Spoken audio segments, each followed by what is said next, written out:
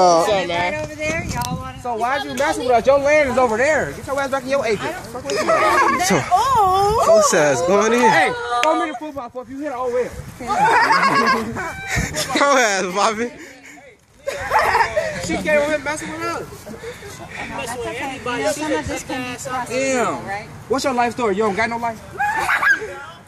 Stop being rude. She want I ain't being rude, so she come over here messing with us. Boy, CJ was ruder than that. I ain't even trying to disrespect her. Y'all, man. y'all way ignorant. Y'all, y'all black. Y'all ignorant. Yeah, That's what she think of us anyway. She don't know if we was intelligent as hell. Excuse me? You just came right over here and said, That is bigotry. What, you, what just came out of your Spell mouth bigotry. is bigotry. "Spell big." Okay, how about this? How about, if I, how about if I use the manners that my mama taught me? I apologize for calling you um, wrinkled and everything and everything like that. Oh, at least you know. But You boy, you don't go home. for you to be saying it the way you said it, that works. Shit, that got What y'all see, Law? uh, harassment. Oh, Law coming? Shit.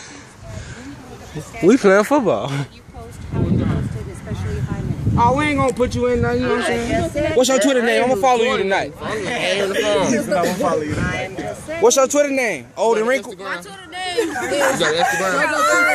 And no, no, no. You know, uh, Well, uh, before you say Before- anything else, before I start off about what, what the fuck you say? Uh, And you do. Damn.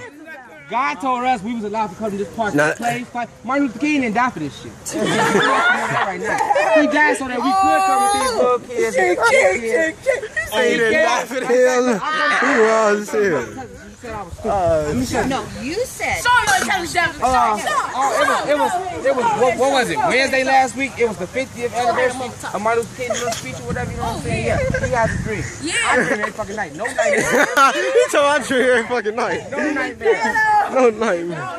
Let me tell you my dream. remember that it was for jobs as well as freedom. This is a job. I'll cut this grass for you like a Mexican or something. I swear, that's the second racist thing that came out of your mouth, like a Mexican. What the, who, else, who, else, who else cut grass? What you mean? Oh, Thank you, thank you so much. Now do more.